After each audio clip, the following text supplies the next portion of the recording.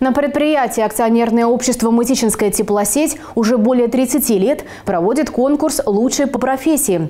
Аппаратчики химводоочистки, операторы котельных, слесари по ремонту тепловых сетей, а также специалисты других рабочих профессий соревнуются за звание лучших в своем деле. В данный момент у нас проходит конкурс э, среди слесарей-ремонтников. Он проходит у нас среди всех слесарей, у нас их больше ста. А, Мы раздаем им а, билеты, там порядка 40 вопросов. А, Половина из них содержит а, вопросы по специальности, половины по охране труда. Особое внимание уделено вопросам охраны труда и техники безопасности. Ведь для них важно не просто хорошо делать свою работу, но и не навредить себе и окружающим.